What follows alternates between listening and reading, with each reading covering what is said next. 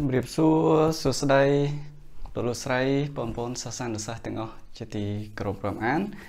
ស្វាគមន៍មកកាន់ការរៀនពីចម្ងាយរបស់សាលាមជ្ឈមណ្ឌលកម្មាង្គររបស់យើងចសាយជាថ្មីម្ដងទៀតថ្ងៃនេះយើងនឹងរៀនពីមេរៀនថ្មី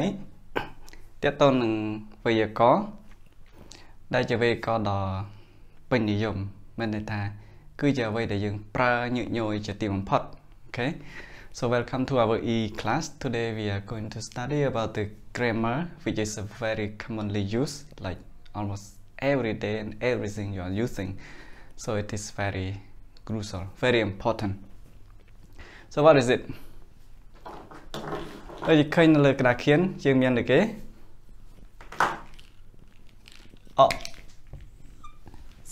auxiliary verbs auxiliary verbs បងប្អូនស្គាល់ទេធ្លាប់លើទេពាក្យ auxiliary verb ចាផៃស្គាល់ auxiliary verb ប្រែខ្មែរយើងថាកិរិយាសព្ទជំនួយឬក៏ជំនួយកិរិយាអូខេនៅក្នុងភាសាខ្មែរយើងមានប្រមាណដែរស្គាល់ទេ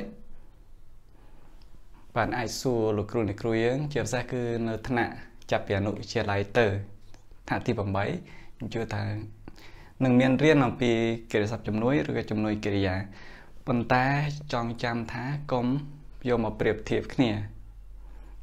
ព្រោះវាមានលក្ខណៈមួយដែលមិនសូវមិនសូវដូចដោយសារតែខ្មែរយើងមិនមានកិរិយាសព្ទជំនួយហើយនឹងជំនួយកិរិយាចឹងមានពាក្យខ្លះជាជំនួយកិរិយាសព្ទពាក្យខ្លះជាជាកិរិយាសព្ទជំនួយតែក្នុងភាសាអង់គ្លេសគឺសុទ្ធតែជា កិរិយាសព្ទជំនួយមានន័យថាកិរិយាសព្ទសម្រាប់ជួយគេហើយពាក្យយ៉ាងហៅមួយយ៉ាងទៀតអឺថា helping verbs ឬក៏ special verbs ចឹងនឹងជាកិរិយាសព្ទដែលមានលក្ខណៈមួយពិសេសអូខេ special verb កិរិយាសព្ទពិសេស helping verb កិរិយាសព្ទជំនួយ auxiliary verb ក៏ជាកិរិយាសព្ទជំនួយដែរ auxiliary មានន័យថាជំនួយជួយពីក្រៅកិរិយាសព្ទជំនួយ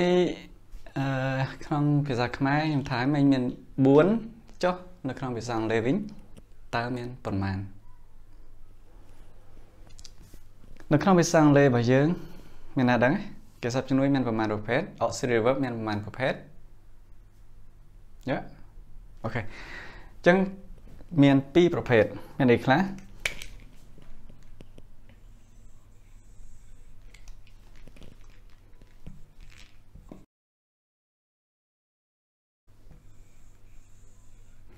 ឃើញខ្ញុំនិយាយកាត់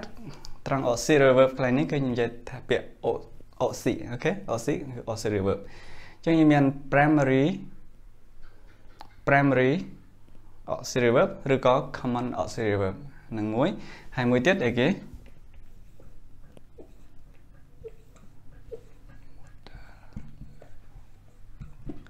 មួយទៀតគឺ modal auxic modal មកពាក្យ mode មកពាក្យ mode ណា បង្ហាញម៉ូដយើងទៅម៉ូដគឺបង្ហាញពីរូបរាងអញ្ចឹងម៉ូដអូស៊ីតែប្រែមកគឺវាលក្ខណៈមួយថាខ្ញុំដឹងថាប្រែមកច្បាស់ទេប៉ុន្តែ ប្រែមកគឺនៅត្រង់ដើមដដែលគឺកិរិយាសព្ទជំនួយវានៅតែជាកិរិយាសព្ទជំនួយដដែលក៏នៅកិរិយាសព្ទជំនួយបង្ហាញពីរូបរាងបង្ហាញពីទម្រង់លក្ខណៈរបស់កិរិយាសព្ទមួយទៀតនឹងកិរិយាសព្ទគោលឥឡូវយើងមកមើលការបកភាពខុសគ្នារវាង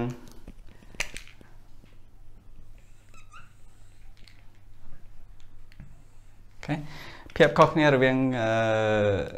primary oxy ហើយនិង modal oxy យ៉ាងម៉េច primary oxy មាន3មាន verb to be to have ហើយនិង to do អូខេ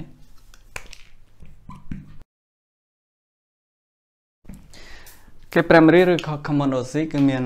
by to be to have to do អានឹងភាពខុសគ្នារបស់វា ចុះអាព្រា model នេះមានអី model មានរហូតដល់10ឬក៏ជាង10មានដូចពាក្យអីខ្លះ can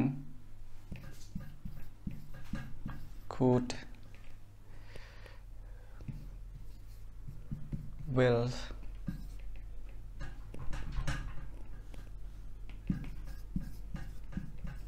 would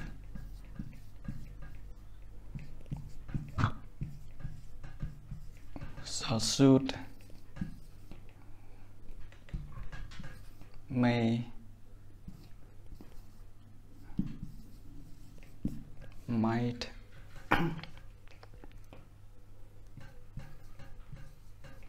must ought to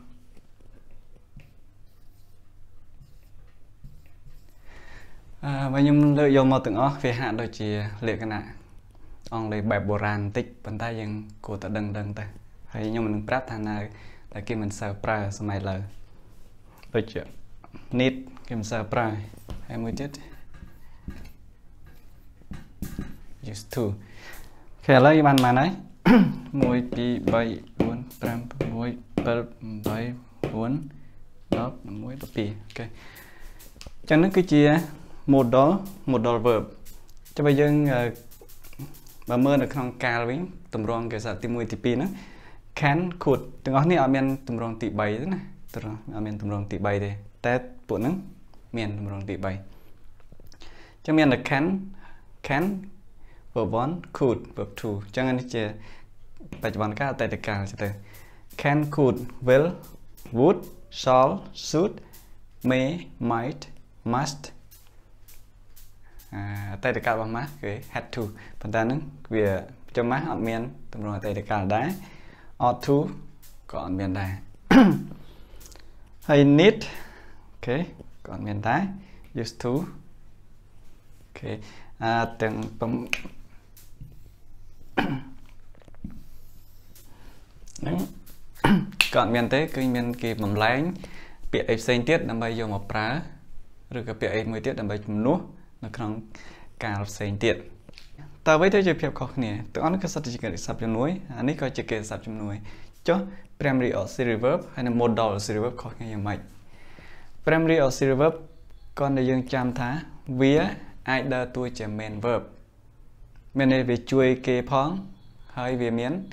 មុខងារផ្ទាល់ខ្លួនរបស់វាផងវាអាចនៅម្នាក់ឯងផងអូខេឧទាហរណ៍ I have a coffee now I have a coffee I have a coffee I am having a coffee okay I have had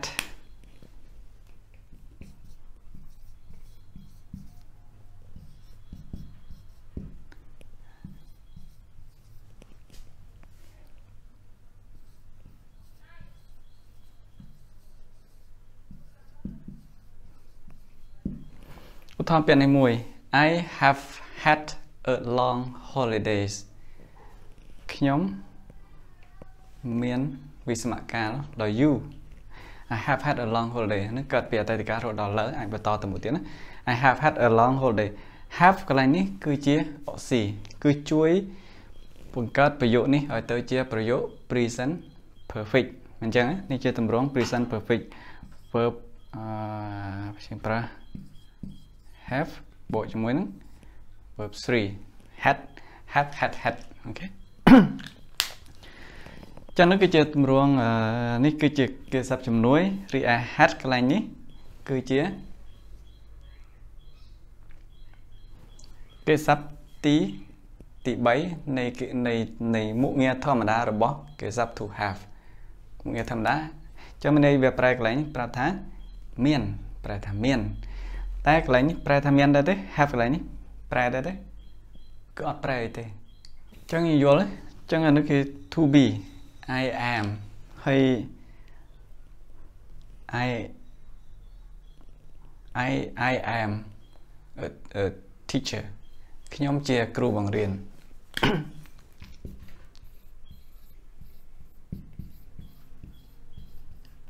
I am a teacher ខ្ញុំជាគ្រូបង្រៀន I am កន្លែងនេះប្រែថាខ្ញុំជា ខ្ញុំគឺជាហ្នឹងគឺជាជាគឺជាកិរិយាសព្ទខាងកិរិយាសព្ទអី state verb ណាហើយខ្ញុំគឺជាកិរិយាសព្ទហើយខ្ញុំគឺជា គ្រូបង្រៀនតែមួយទៀត I teaching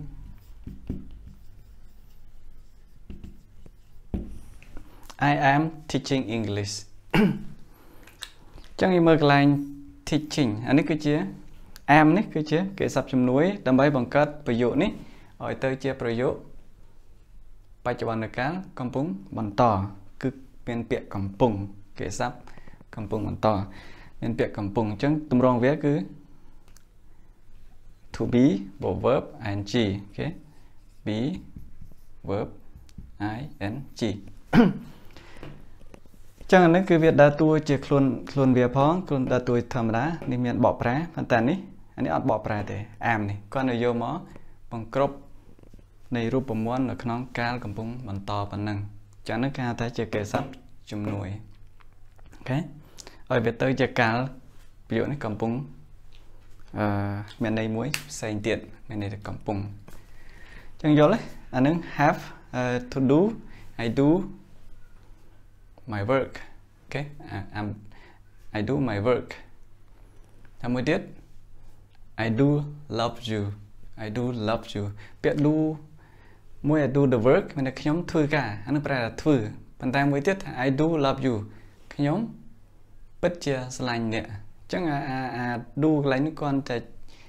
មានន័យមួយទៀតដើម្បីនឹងជួយទៅលើពាក្យ love នោះទេពាក្យស្រឡាញ់ទេអញ្ចឹងយល់រីឯ can can could will វិញគឺវាអត់មានអត្តន័យមួយដាច់ដលែកសម្រាប់ខ្លួនវាទេឧទាហរណ៍គឺវាត្រូវតែ នៅជាមួយនឹងកិច្ចសព្ទផ្សេងទៀតឧទាហរណ៍ I can run 100 km